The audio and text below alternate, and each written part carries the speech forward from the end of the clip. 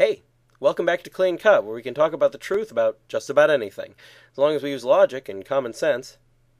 I thought we'd go over a few issues raised by various comments I've received. Today, do any of the types of skepticism logically work? I've touched on skepticism before in a very general sense, addressing the issues that I was seeing with the things that the forms of skepticism often share in common. But today, I'd like to take a few seconds to look at a number of different forms of skepticism individually to see if any of them work. Also, non philosophical skepticism or mere hesitation in drawing conclusions works just fine, provided you have some criteria under which you'll accept information. But again, I've touched on that before and won't be going over it again soon. This is also known as Cartesian skepticism and is named a bit misleadingly after Rene Descartes, who was not a skeptic. Academic skepticism is the most extreme type, claiming that knowledge of things is impossible. Of course, this can be disproven by simply asking an academic skeptic if they're able to know that. If not, then the philosophy doesn't exist. If so, then it's disproven.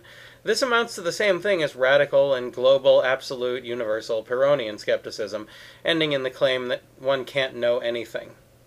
Local skepticism seems to be a small category of positions, with at least three different varieties contained in that category. Those varieties are moral skepticism, theological skepticism, and metaphysical skepticism. Moral skepticism involves the rejection of moral claims. However, we all know in practice that some actions are worse to do than others.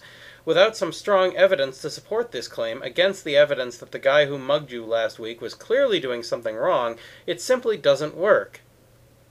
Theological skepticism is mainly about rejecting claims about God. Still, I did a pretty long series of videos on the arguments for the existence of God, which presents evidence against theological skepticism. So the theological skeptic has to present some kind of counter-argument if they want to prove their point. I've never seen any evidence that claims about God should be rejected.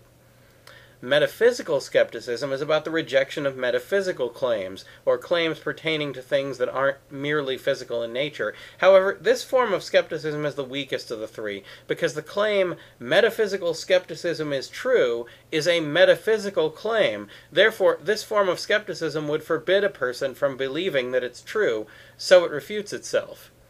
There's a form of skepticism called Agrippan skepticism, based on the work of the ancient Greek skeptic Agrippa, who used five tropes to try to defend his position.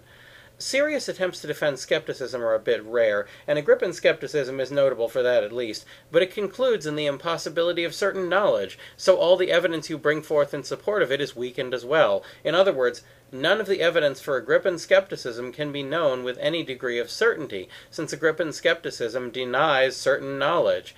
Even the amount of certainty that one can have in specific things can't be known with certainty on this view. So, in practice, no real knowledge is possible for the Agrippan skeptic, and therefore no evidence is good enough to defend it.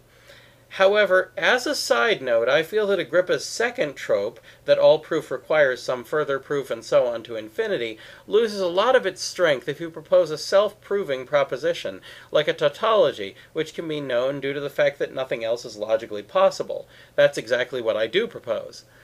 To sum it up, no form of skepticism can prove anything, including its own claims, because skepticism just doesn't work that way.